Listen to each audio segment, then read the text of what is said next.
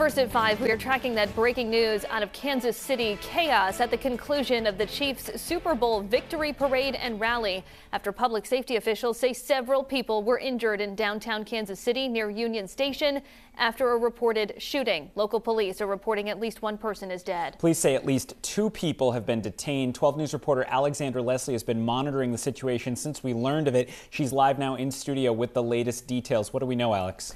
Well, this all happened just minutes after the Chiefs vowed to go to a third straight Super Bowl win. This joyous occasion quickly turned chaotic, with fans urged to leave as quickly as possible. City officials estimate as many as 1 million people may have been in attendance today.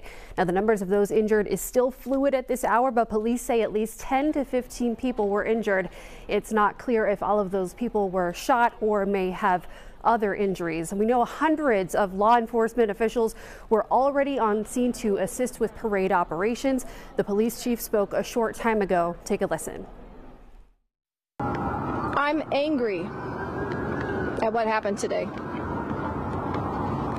The people who came to this celebration should expect a safe environment.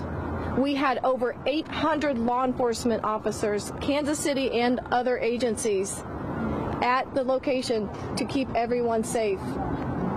Because of bad actors, which were very few, this tragedy occurred, even in the presence of uniformed law enforcement officers who again ran towards them and took them into custody. Again, Kansas City officials speaking just moments ago. We're continuing to track this developing situation on air and online on WPRI.com. Stay with us for the latest developments. For now, live in studio, Alexandra Leslie, 12 News.